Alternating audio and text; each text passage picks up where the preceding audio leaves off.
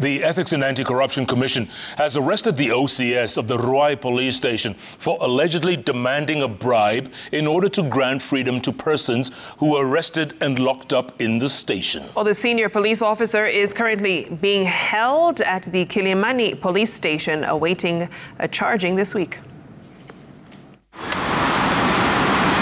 It wasn't the evening that Chief Inspector Duncan Otieng, attached to the Ruai police station, had hoped for. The officer was arrested on Saturday evening while in the process of receiving bribes for the release of people who had been arbitrarily arrested on Friday night and locked up in cells at the Ruai police station. EACC detectives acting on reports from members of the public had laid out an operation to nab the officer in the act of receiving the bribe they had demanded from revelers arrested that Friday.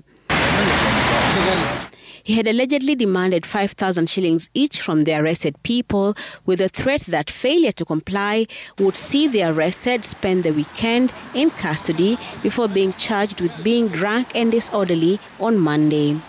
EACC's CEO Twalib Mbarak, while confirming the arrests, has called on members of the public to report such incidents, which he says have been on the rise in the country. You find that most of these people are arrested on very flimsy reasons, and sometimes they are not even booked in the OB.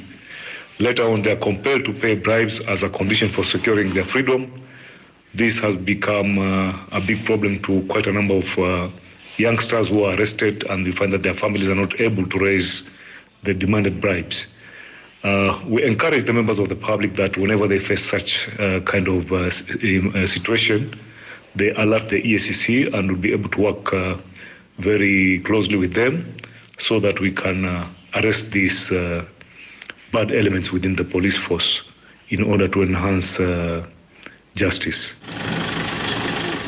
Otieng has been processed at the EACC and is being held at the Kilimani police station pending further judicial action.